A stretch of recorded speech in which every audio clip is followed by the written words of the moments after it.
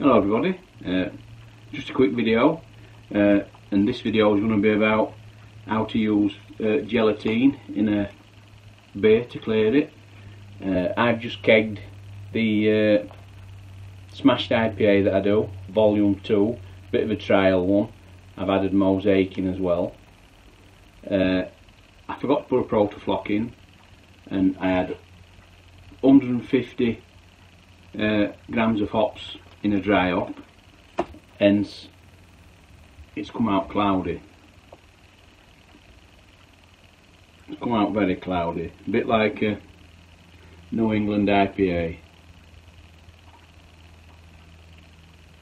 so we're going to have a go at cleaning it. We're going to use this stuff. Got it from Morrison's. I, can't remember. It was somewhere around two pound mark uh, dead easy to use. This is a powdered form. You can get a leaf sheet form. Uh, and basically, all you need to do. Now I've got a, a jug of pre-boiled water, and I've got roughly about 150 grams, grams, 150 millilitres of pre-boiled water to which I'm going to add just a teaspoon and uh, give that a good mix. Stir it in until it dissolves. Uh, that's your first step. So now I need to disconnect my keg and uh, I'll show you next step.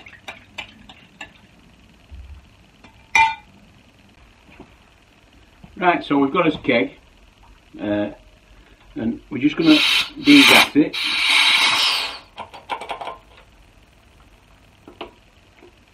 And take uh,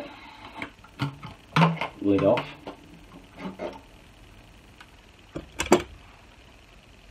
Ooh, smells beautiful. And simple as that, I'm just to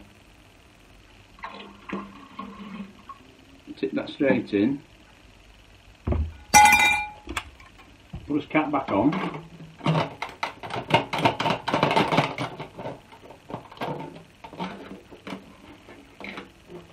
put his cap back on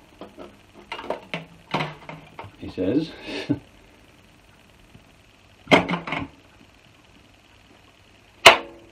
and then carefully, just gently, you don't need to go mad.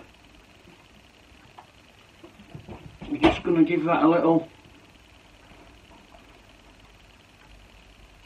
bit of a just to make sure it's all mixed up. I think that should do it just reconnect it back up. Right, so I've reconnected my keg uh, back up and I think it, it acts pretty quick uh, from what I've seen. I mean, this is the first time that I've done it. Uh, it's, it's, I think it should be 24, 48 hours and it should be done. Uh, it's now Sunday, I'm off Wednesday, so three days. I'll come back in three days on Wednesday, pour another pint, uh, and see if it's made any difference. So I'll catch you then. Right then, it's uh, been three days now. I showed you that pint on Sunday. It's now Wednesday. So this is the first one I've poured. I don't know myself how it's turned out, whether it's cleared up any. Uh, hopefully it'll cleared up some. Uh, and just looking at it as it's coming up now it has. So we'll get this poured and uh, we'll see what we think. So like I said it's been three days and I've just left it in my fridge connected up like you normally do uh,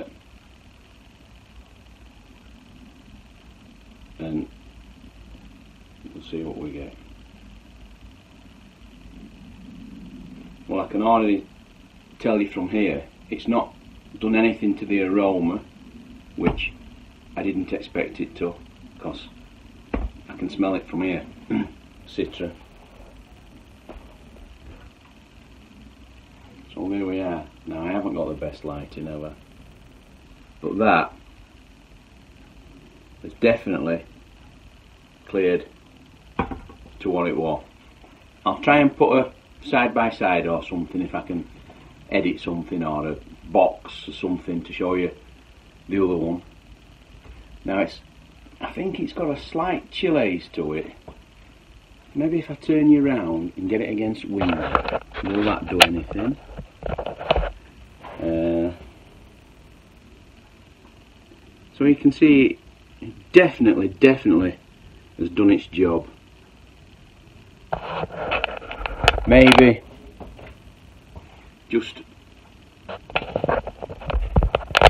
a little bit more, maybe a heat teaspoon would have done uh, a better job uh, but I don't think you needed much more so we'll give it a try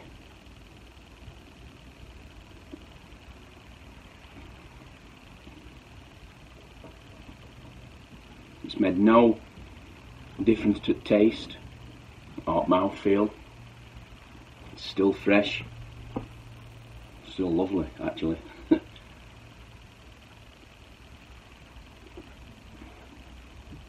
So is it a success? I'd say what uh, it's not perfectly clear. It's not like a, a lager clear uh, but these are IPA style beers with plenty of hops in so to get them crystal clear, you know, without filtering or anything, you need to give them a bit of time. Uh, and this hasn't been in this keg that long.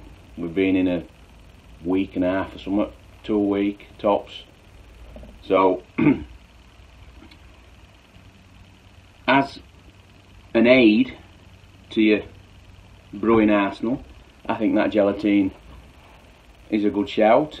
I mean, if I were doing it now, if I'd have kegged it and I'd got it this clear to start with, uh, if I hadn't have forgot my Protafloc and what have you, and uh, I started off with it relatively clear like that, and then I did some gelatine, I would think I'd get it nigh on crystal clear. But, if I'm honest, if I kegged a beer and got it that clear, I won't be bothering with any finings or gelatin or anything. Uh, but this was really, really murky as you've seen. So I just thought I'd share that with you. Uh, it's the first time I've done it. Uh, there'll no doubt be some out there that's already done it and maybe do it slightly different to how I've done it. I don't know. Uh, but maybe somebody hasn't done it before. So there you go. And I'll catch you next time fellas.